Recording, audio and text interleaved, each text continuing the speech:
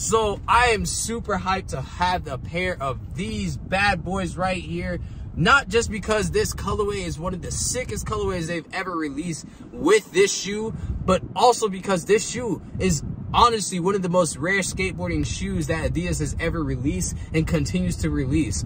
Mark Gonzales has had this shoe re-released a couple of times in skateboarding throughout the years. He has skated for Adidas, but it has been a little bit more frequent in the years of 2018 to now. But still, it is very hard to get your hands on it because sometimes they release it on Adidas site strictly. Sometimes they only release it at local skate shops. And if your shop doesn't carry Adidas skateboarding shoes, it's going to be ridiculously hard to get your hands on them. I don't even know if Zumiez carries these shoes. So with that being said, if you're watching this video right now, you may already be too late, unfortunately. But I will still talk about the ins and outs of this shoe. So let me go on ahead, get you guys prepared for what you're going to see in this shoe. And if you guys want to see me finish skateboarding this shoe and have a finished review of this shoe, make sure you guys subscribe to the page because I would definitely give you guys a finished review of this shoe. But right now, we're going to talk about the ins and outs of the Aloha Super from Adidas Skateboarding.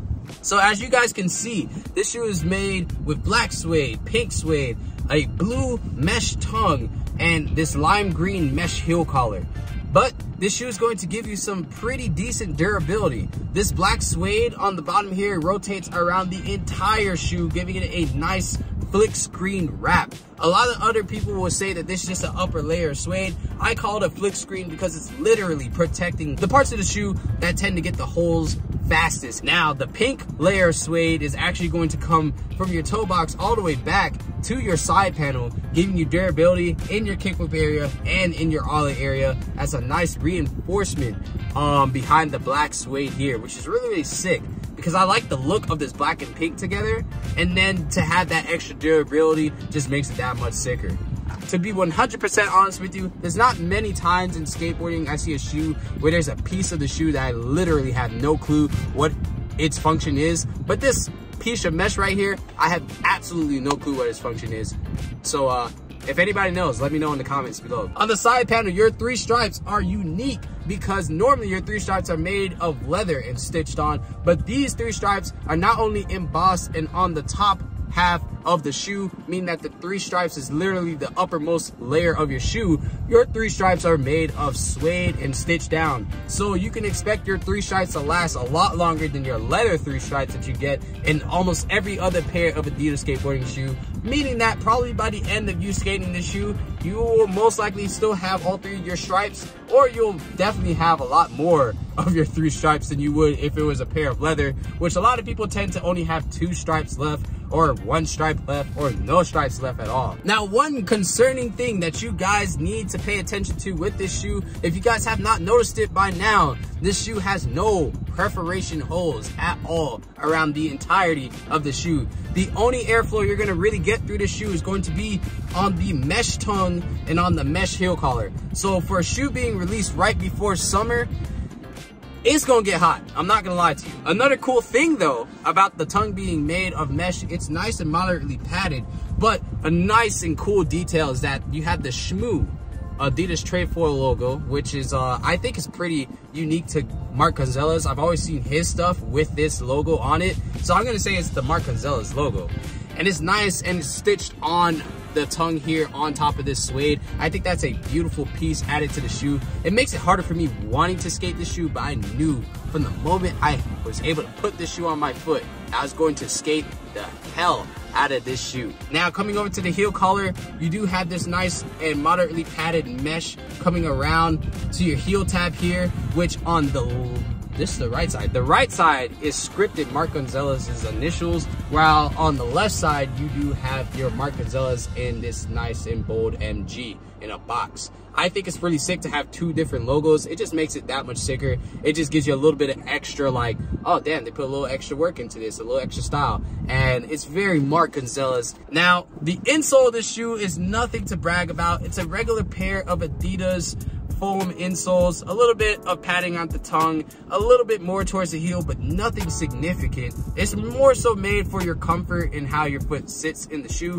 but it is a removable insole. It's not glued down, which means if you need a little bit more impact protection in the shoe, you can put an aftermarket insole in there and be hyped about that.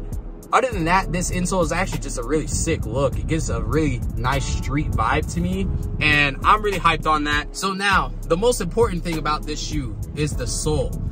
A lot of people don't know, but Mark Gonzales's shoe is a cup sole shoe, but it is made to skate more like a vulcanized shoe. What that means is that it's made to be a little bit thinner so you can feel out the board a little more, get a little bit more techie with it. And if you look at Mark Gonzales's skateboarding, it is a little bit closer to the board, so you'd expect that he likes a lot of board feel with his shoes. So it's really, really sick to have a cup sole shoe with the extra board feel.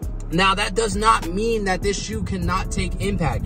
If you guys take a look at the outsole here, the midsole can be seen through this nice rubber translucent sole, which shows you that right around this lime green area where it stops and meets the black suede is where the midsole stops. And that's honestly pretty decently thick.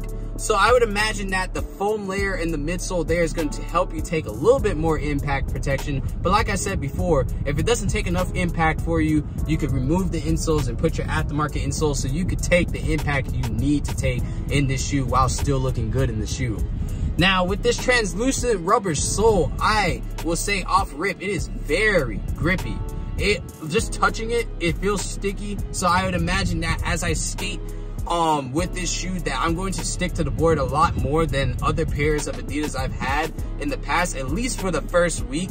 And I'm really, really hyped on that because it just lets me know that I should be pretty connected to the board and I shouldn't have to worry about breaking in the shoe as hardcore as I do have to for other cup sole shoes. Now, all of this sits on top of this really nice patterned outsole. You have Trefoil logos all over the outsole of this shoe and these nice circular padded sole looking pieces here. Whenever I see circular padding like this, it just shows that it's made to give you more control than anything. And then in between the trefoil and these circular padded like outsole pieces, you do have deep grooves, which have nothing else going on to them other than the fact that it's just deeper into the shoe. But that also lets you know that as you shave this down, you have a lot to go before you get to this extra smooth piece. So the outsole should be pretty durable. Another thing to point out, which I know some people really dislike, this like lifted up slanted piece is here to give you a little bit more durability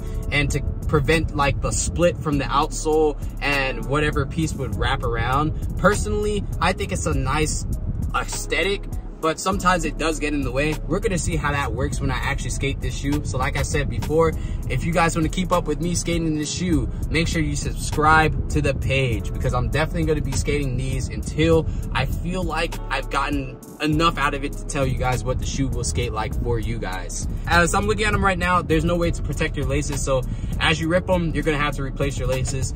I probably will get a pair of laces from the extendedwear.com site from Christian Flores. So I'll probably put that in the link below so you guys can get some really durable laces if you do decide to get these shoes or you just need some really durable shoelaces that won't rip within two sessions or honestly a lot of sessions because those shoelaces really really last.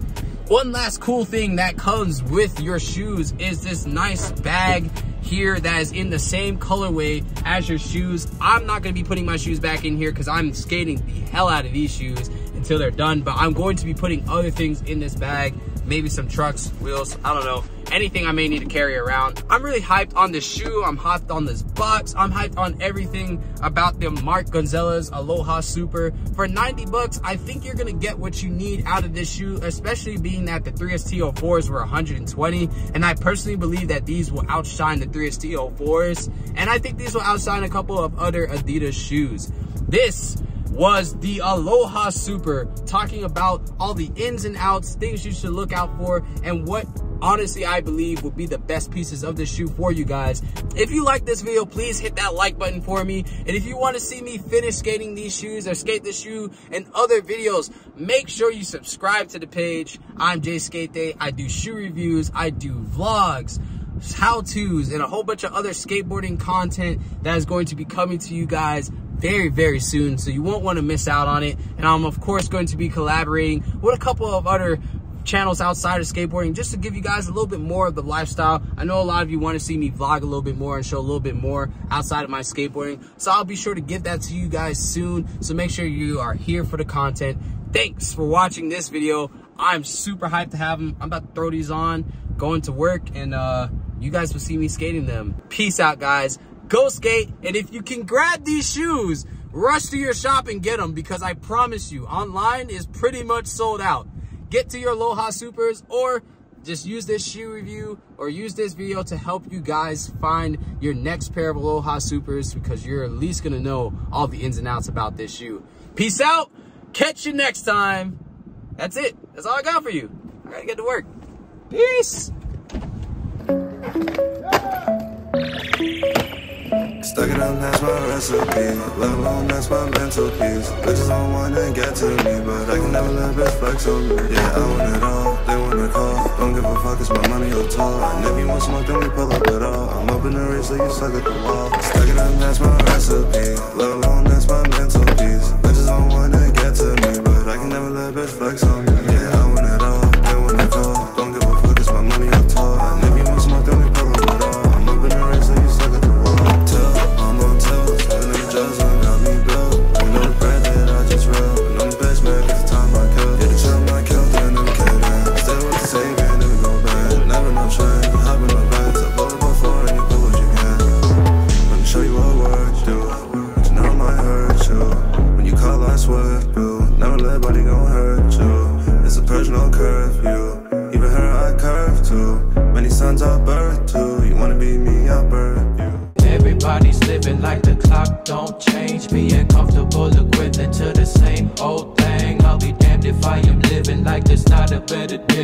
My time to go and get it. Fuck what anybody say.